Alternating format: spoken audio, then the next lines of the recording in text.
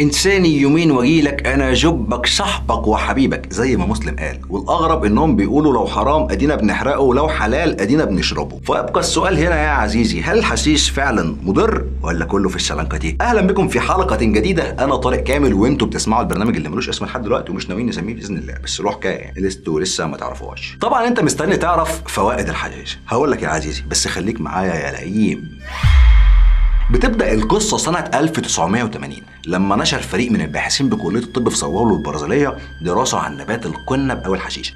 كان المفروض إنها تغير حياة 50 مليون شخص بيعاني من الصرع في جميع أنحاء العالم والمفروض إن علاجهم هو مخدر الحشيش. بس للأسف ده ما حصلش. الدراسة فعلا ما غيرتش حياة حد. ده لأن الدراسة لمدة 30 سنة من بعد نشرها كان في عدم اهتمام بالموضوع أصلا عنها على اعتبار إنه نبات ترفيهي ودمه خفيف مش أكتر يعني. وما يستاهلش ندور وراه لأننا عارفين اللي فيها. هيحصل إيه يعني لما ندور وراه؟ ما هو مخدر ولكن خلونا متفقين اللي في البداية كده إن إحنا مش بنكلم الناس اللي بتحب الحشيش ومش قادرة تبطل لا إحنا بنكلم الناس اللي عندها وعي وخلينا نقول بكونه شيء منبوذ من المجتمع. وهنا خلينا نحاول نفهم أصلا يعني ما هو الحشيش.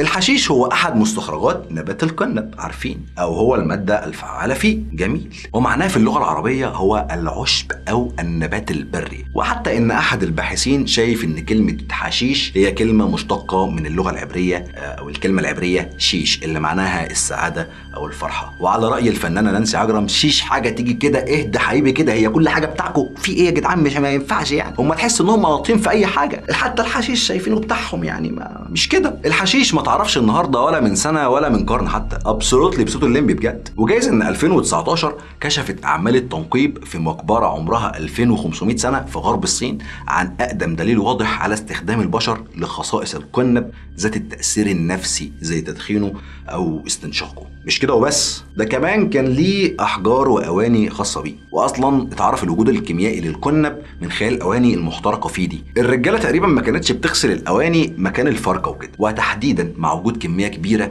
من رباعي هيدروكانيبانول. الشيء اللي بيؤكد على إن النبات ده تم استخدامه واستنشاقه أثناء الدفن. تخيل الناس الصينيين زمان كانوا بيدفنوا ويتسلطنوا وهم بيدفنوا.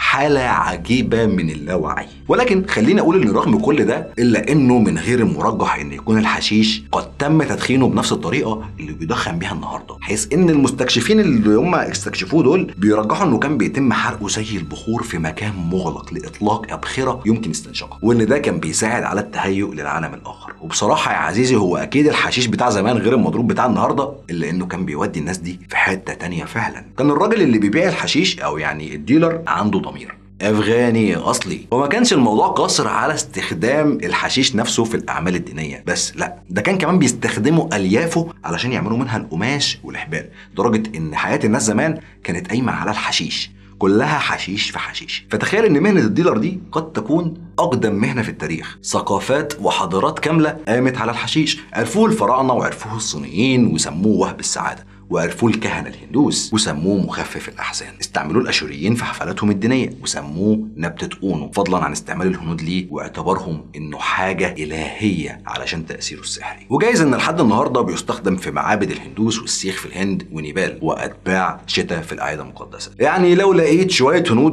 مدورين القعدة وفرقوا الفرقة ما تقاطعهمش لأنهم غالبا قاعدين بيصلوا مش بيصطبحوا لا ما تفهمهمش غلط.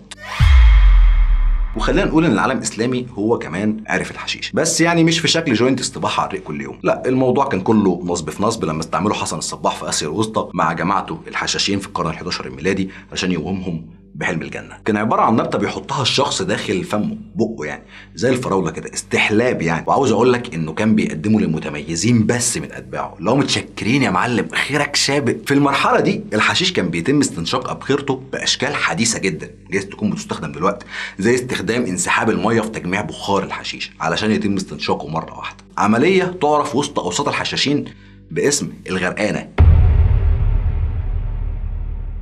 من هنا والحشيش سمع وبقى ليه صيته واشمعنى الأوروبيين يعني ما يتسلطنوش؟ اتنقل الحشيش لأوروبا عن طريق حركة الاستشراق اللي ركزت في كتابتها على الهند وفارس والعالم العربي. ده بالإضافة لنابليون بونابرت لما جه في القرن ال18 ونقل بقى مخدر الحشيش نفسه لأوروبا. وأكيد أنت دلوقتي آه، عارف ليه الحملة الفرنسية فشلت. وبقى عندك رؤية واضحة للحملة الفرنسية اللي كانت جاية تصطبح. بس اوعى وانت في الامتحان يجي لك سؤال إيه هي أسباب فشل حملة نابليون؟ تقول لهم الحشيش كده هتحبسنا مش هتنجح. دي مش معلومة أنا بقول أهو. وعلى فكرة الحشيش ما كانش مجرم زراعته أو تدخينه في مصر لحد قدوم الحملة الفرنسية ولحد ما جربوه سنة 1897 كل القصة إن بتوع الحملة الفرنسية لما جم مصر ما لقوش خمرة يشربوها فجربوا الحشيش فعجبهم. قام الخليفة العثماني حب يرخم عليهم فحرم زراعة الحشيش أو تدخين بس كده هي دي كل الحكاية. أما دلوقتي فنيجي بقى لحاجة أنت مستنيها يا عزيزي من أول حلقة وهي فوائد الحشيش. وهل هو مضر ولا 100 100 قلت لي إيه؟ طبعا اتبسطت. انت دلوقتي مزاجك يا عزيزي بقى في السحاب. عموما أنا عاوز أقول لك إن كل الحقائق اللي هنقولها دلوقتي بتكون في حالة استخراج الحشيش ومعالجته بمواد كيميائية جوه المعامل الطبية. تخيل معايا بقى شكل نبات القنب ده علشان لو قابلك في مكان ولا حاجة جايز يعني يقابلك برضه محدش يضمن. فهو نبات ملمسه خشن أوراقه مشرشرة جذوره عمودية وليه سقام مجوفة. هو نبات أحاد الجنس يعني في منه ذكر وفي منه أنثى. فاكر لما قلت لك إن هم قعدوا 30 سنة مهملين الدراسة اللي اتعملت على نبات القنب؟ كانت من نتائج الدراسة دي إن إشراف الباحثين على إعطاء جرعات يومية بمقدار 300 مللي جرام من ال cannabidiol اللي هو أهم عنصر لا يحمل تأثيرا نفسيا لثمان أشخاص مصابين بمرض الصرع انتهت معاناة أربعة منهم بعد أربع شهور بس من العلاج وانخفضت وتيرة النوبات للثلاثة الباقيين بصورة ملحوظة. كمان العالم الصيني بين تشاو تشينج سجل أقدم كتب الأدوية في الوجود اللي اتكلمت عن استخدام القنب أو الحشيش في الصين من 2700 عام قبل الميلاد لعلاج آلام الروماتيزم والإمساك والاضطرابات التناسلية للإناث زي بطانة الرحم. واستخدم برضه في علاج حالات من الملاريا. ومش بس كده ده كمان واتوهو الملقب بأبو الجراحة الصينية اخترع مخدر بيتألف من النبيذ وأعشاب الكنب. الكلام ده كان في القرن الأول قبل الميلاد. ويليام بروك طبيب أيرلندي نشر كتاب سنة 1838 بعنوان عن إعداد القنب الهندي أو الغنجة اللي هو إزاي تحضر الحته الموميه في معمل. المهم إنه بحسب التاريخ والكتاب القدامى بتظهر قصص مماثلة في وثائق وسرديات من الهند والشرق الأوسط وإفريقيا وحتى أوروبا عن ناس دونوا أكتر الفوائد عن نبات القنب بل هناك من قال إن القنب هو الطب في حد ذاته. وخصوصا إنه في الآونة الأخيرة يا عزيزي اكتشف إن القنب يمكن استخدامه في علاج نوبات القيء والغثيان. خصوصا عند مرضى السرطان. وبيعالج اضطرابات الحركة بالنسبة للأطفال اللي بيعانوا من فرط النشاط. وده على حسب الدراسات مش كلامي أنا. وكمان بيستخدم في علاج الأمراض المرتبطة بالمخ زي الارتجاج وحالات نقص الأكسجين. ده بالإضافة لأنه بيستخدم في علاج أمراض التهاب المفاصل. مش محتاج بعد كده تدهن فولتارين اشرب حتة مية. والأهم من ده كله بقى هو احتوائه على مادة THC اللي بتوسع القصبة الهوائية خصوصا مع مرضى الجهاز التنفسي. ده بالإضافة برضه لأنه بيستخدم في زيادة كثافة الشعر سيدتي الجميله جميلة. فهل تعتقد يا عزيزي يا ويا عزيزتي يعني إن الحشيش ليه كل هذه الفوائد؟ هقول لك تخيل هتقول لي أحي. هقول لك طب يعني ملوش أضرار. هقول لك يا عزيزي بس خلينا متفقين إن أنا مش دكتور أنا مجرد سارد للتاريخ. التاريخ هو لعبتي اللي جاي ده مش لعبتي. بس هنقوله برضو لأن إحنا مش بندعو لحاجة زي كده يعني الحشيش. لا ده إحنا يعني بنقول لك إن هو زفت وقطران بس يعني كمركب طبي ليه فوائده. على حسب الدراسات الحشيش ممكن يكون بيأثر على المستقبلات الحسية في الدماغ. مادة زي C مش معروف حتى الآن إيه هو نوع التأثير اللي بتسيبه على المستقبلات الحسية. يعني بعد joint الاصطباحة بتاعك ممكن تحس إنك سعيد أو حزين أو عايز تنتحر. محدش ضامن.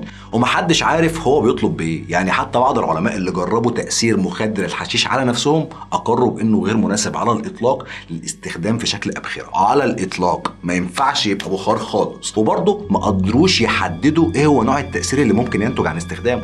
بس إحنا ممكن نقول إن من أضراره البسيطة على سبيل الذكر يعني الانتفاخ الشديد للرئة اللي ممكن يؤدي للموت أو الوسواس القهري أو الاكتئاب أو ارتفاع ضغط العين واحمرارها بشكل مستمر. ده غير طبعا إن الجرعة الزايدة من الحشيش ممكن تجيب تسمم وتقتل صاحبها. وآخر طبعا حاجة اللي ما كنتش عاوز يعني أقولها بصراحة إنه بيضعف القدرة الجنسية. وخلي بالك فكرة عدم تأكد العلماء دي هي من سخرية القدر مش حاجة حلوة يعني. يعني ده أنت يا عزيزي مش فاهم أنت داخل على إيه بس عارف إن أقل حاجة ممكن تحصل لك هي زفت الزفت. واللي عاوز أقوله هنا برضو إن شرب الحشيش على هيئة أبخرة ودخان جايز هو سبب المشاكل دي كلها لأن احتراقه بيتم معاه حرق مواد كيميائية أشد ضرر حسب تصنيعه. وعلى حسب ثقافة المدخن والديلر في نفس الوقت. اللي هو في الآخر هتدخن حشيش يبقى أنت حياتك ومستقبلك حرفيا على كف حفريت. أما الحشيش نفسه أو القنب جايز ربنا خلقه لمعالجة أمراض كتير جدا رغم عدم اعتناء المؤسسات البحثية بهذا النبات. وده مش كلامي ده كلام أحد الباحثين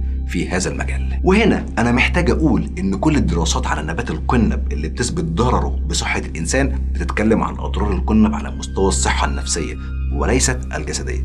وخلي بالك وأنت بتتكلم عن أضرار الحشيش انت لازم فعلا تفرق بين تدخين الكتل الصغننة اللي اسمها حشيش وبين نبات القنب نفسه اللي ممكن يدخل في علاجات الكثير من الأمراض. جايز إن في دول جرمت مخدر الحشيش وجايز إن في دول أكتر أباحته وجايز إن في دول أكتر وأكتر عملت مش واخدة بالها منه. إلا إنه في النهاية تقدر تقول إن حكومات كتير جدا وقفت قدام هذا المخدر وحطت علامات استفهام كتيرة جدا. حقيقي إن كل المؤسسات الطبية ممكن تكون حاطه هذا المخدر الطبيعي تحت دراسات معملية غير مكشف عنها لقدرته على حل مشاكل أمراض كتيرة جدا وجايز الحشيش من النبات المظلومه فعليا ظلمها البشر بحكم سوء استخدامهم ليها إلا إن ده أمر طبيعي يا عزيزي لأن فعلا سيجارة حشيش واحدة كفيلة بإنها تدخلك في مود من الاكتئاب أو الفصام ومشاكل نفسية لا حصر لها فضلا عن مشاكلها العضوية المرتبطة بالتدخين. ده بالإضافة لأن السيجارة الواحدة قادرة على أنها تعيقك عن تنفيذ خططك المستقبلية طويلة المدى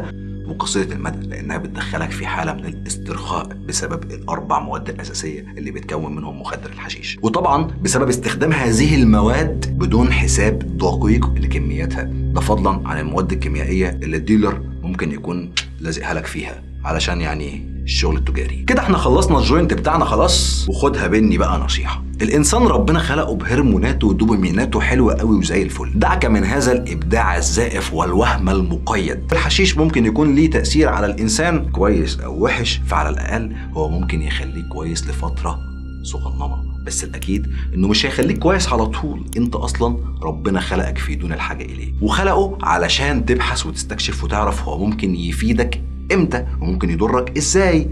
ولكن هو بالشكل اللي بتستخدمه الشباب اليومين دول زيه زي سم الأفعى. وجايز إن سم الأفعى ليه منافع عنه. وجايز إنه أخطر من سم الأفعى عليك لأن سم الأفعى أنت عمرك ما هتشربه. وهنا أقدر أقول إن خلاص الجوب خلص يا عزيزي. اعمل share و like للفيديو وما تنساش تبص على الحلقات اللي فاتت تستنى الحلقات اللي جاية ولو على يوتيوب تشترك على القناة وتبص على المصادر. شكرا لكم والسلام عليكم.